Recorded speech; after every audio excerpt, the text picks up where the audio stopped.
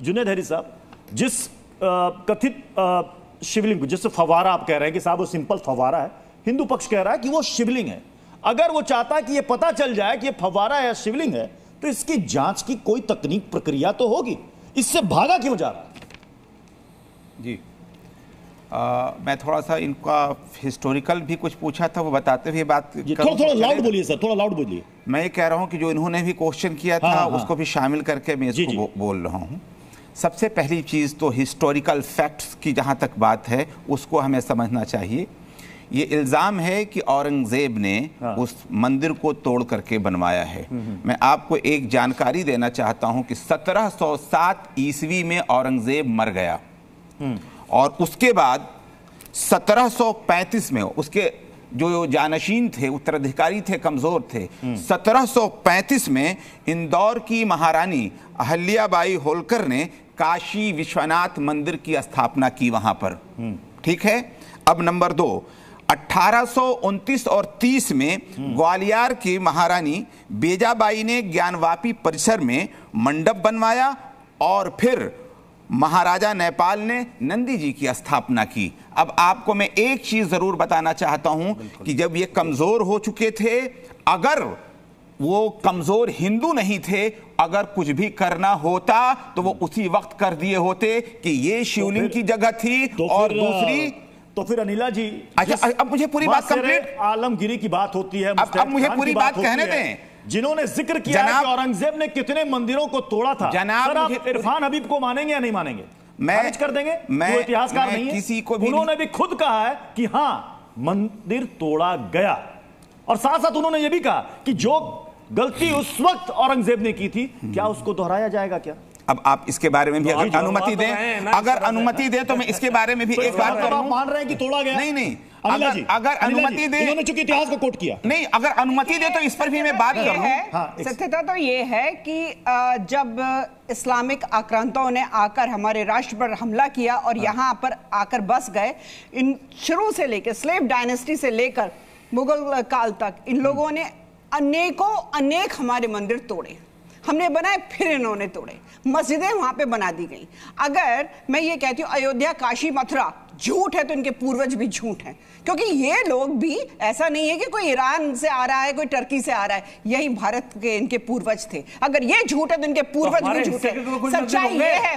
सच्चाई हमारे सच्चाई तो ये है अगर मैं काशी की बात करती हूँ प्रत्युष जी हमारे पुराण में इसका है तो। पुराण में ज़िक्र है। तो यानी कि हमारे ग्रंथ भी झूठे हो गए इतिहास भी तो है झूठा हो गया भी झूठा हो गया। हैं? ज़िक्र है तो आपका मंदिर बना हुआ तो है वहाँ जाइए पूजा करिए। आपको तो मस्जिद में पूजा करनी है। आपको तो विवाद करना है।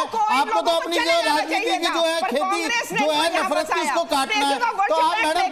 तरीके की बात कर रही है मेरी समझ में नहीं आ रहा। किस तरीके से आप बीजेपी की स्पोक पर्सन बनकर आपको बात करनी चाहिए सबके समाज के लोगों को साथ लेके साथ चलना चाहिए था। सबका कॉन्फिडेंस जीतना चाहिए और आप जो है लगातार जो है धर्म की बातें करते एक बार भी आपने जो ऑथेंटिक बात के। बिल्कुल नहीं होगा। भारत पूरा बिल्कुल नहीं होगा। सारे एविडेंसेस हमारे साथ हैं।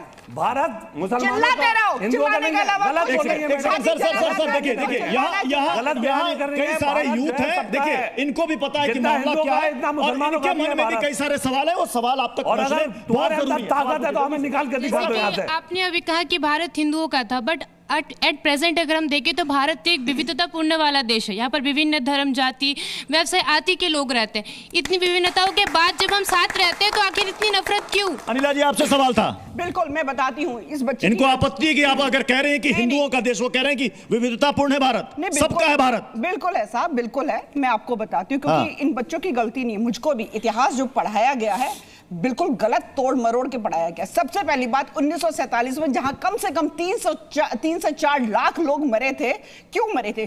शौक था। मरे थे। क्योंकि इस राष्ट्र के दो टुकड़े हुए थे। क्यों हुए थे? क्योंकि मुस्लिम लीग जो है अपने धर्म का अलग राष्ट्र चाहता था। पाकिस्तान मिल गया। ठीक है? मुसलमानों को वहाँ जाना चाहिए था। क्यों जाना चाहिए था? एक्सचेंज अरे, भी होना था। यहाँ पे सवा चार से साढ़े चार करो क्या इन डरपोक आदमी चिल्लाते हैं ये डरपोक आदमी है। एरिया मिला था क्या? और मैं आपको कांग्रेस ने है। मुसलमानों को पाकिस्तान- एक- सेकंड एक सेकंड एक और सवाल। एक और सवाल किससे मुसलमानों को अनिला सिंह से मेरा सवाल है। पाकिस्तान एक सेकंड एक सेकंड अनिला जी। जानकारी कुछ है नहीं एक सेकंड कामरान जी हाँ। मैंने ये कहा नहीं कि मिला था क्या उन्होंने कहा कि वाराणसी के कड़कड़ में शिव जी हैं। वाराणसी के एक कड़कड़ में कामरान जी पहले सुन तो लीजिए फिर हाँ। वाराणसी के कड़कड़ में शिव है आपने कहा जैसे। तो आपको पूजा क्यों मस्जिद में ही करनी है? आपके पास तो मंदिर है वहाँ पे। उस पे क्यों नहीं कर रही हैं आप? अरे साहब आपको कुछ बेटा पता है? थोड़ा पढ़ लिख कर आया करो। आपको पता है नंदी जी जो है नंदी जो वहाँ पर हैं आप जाकर देखिए। इकलौते नंदी ऐसे हैं जिनका मुँह मस्जिद की तरफ़ है। आपने आज तक एक भी नंदी देखा है? कि जो भगवान शिव की तरफ़ उसका मुँह ना हो। अरे एक क्या? नेपाल के राजा ने बताओ आपने बहुत अच्छा ये कह रहे कणकण में शिव है तो शिव तो हर जगह विराजमान है फिर हाँ। मस्जिद की जगह ही क्यों चाहिए? क्यों? तो इसका मतलब जो हमारे सिद्ध स्थान है हम छोड़ दें। अच्छा। आपके माता पिता हैं आप प्यार करते हो। अमितोष पारिक भी हमारे साथ जुड़े हुए अमितोष पारिक विश्व हिंदू परिषद के प्रवक्ता। अमितोष जी? मैं एक सवाल नहीं नहीं ये मामला नहीं नहीं इस डिबेट में तो- ऐसा लग रहा है कि मामला राजनीतिक मुद्दा हो गया है। कहा जा रहा है कि हिंदू मुसलमान में बांटो इस मामले के ज़रिए और अपनी राजनीति चमकाओ। ये तो आस्था का मामला है। धार्मिक मुद्दा है राजनीतिक है। नहीं प्रत्युष जी ऐसा क्यों होता है कि हिंदू अपनी आवाज़ उठाता है तो वो मामले सारे राजनीतिक हो जाते हैं पॉलिटिकल टर्न हो जाता है? कोर्ट के अंदर में मामला गया प्लेसेस ऑफ़ वर्शिप एक्ट की कोई एप्लीकेबिलिटी इसके अंदर में नहीं है ना ही सेक्शन थ्री की है ना ही सेक्शन फोर की लिमिटेशन है। जो पूजा करने से। लिमिटेशन एक्ट क्या हो गया? एक मिनट मैं आप लोग के बीच में नहीं मतलब दो, दो और एक्ट भी है ना? Limitation act and adverse position का क्या होगा? लिमिटेशन एट और एडवर्स पोजीशन आप सर मेरी बात सुन लीजिए आप अपने पॉइंट पे बोल दीजिए दीजिएगा। मतलब लिमिटेशन ऑफ़ एडवर्स पोजीशन भी बोलना है जरा। अधिकार रोकने वाले मुलायम सिंह यादव ने जब पूजा का अधिकार रोका गया तब राजनीति नहीं दिखी इन लोगों को।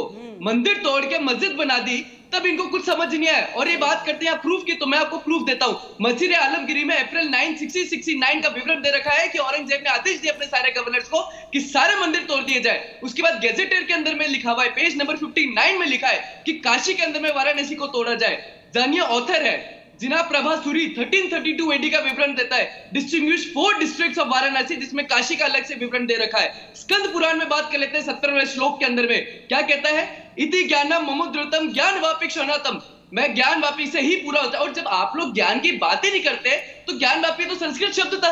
आपके तो उसमें आना ही नहीं चाहिए था एएसआई सर्वे होता है 2002 में तो ये लोग वहाँ खड़े हो जाते हैं रोकने के लिए एएसआई सर्वे को। और यहाँ आके बात करते हैं। हर एविडेंस की बात हो रही है। कोर्ट के माध्यम से लड़ा गया है। बाबरी की लड़ाई हो, ढांचे की या ज्ञान व्यापी की, हिंदू ने हमेशा कोर्ट के तरफ़ से लड़ा गया है। क्यों ऐसा होता है, प्रत्युष?